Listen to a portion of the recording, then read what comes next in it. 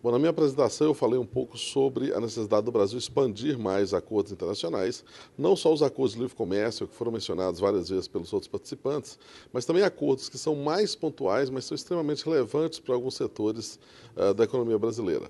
Eu citei, por exemplo, os acordos de bitributação, o Brasil tem poucos e antigos.